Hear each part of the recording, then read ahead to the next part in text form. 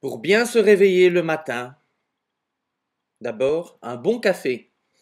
Café.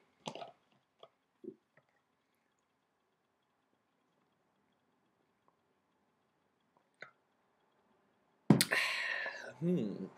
Et le plus important, un bon petit déjeuner bien vitaminé. Vitaminé. Plein de bonnes choses.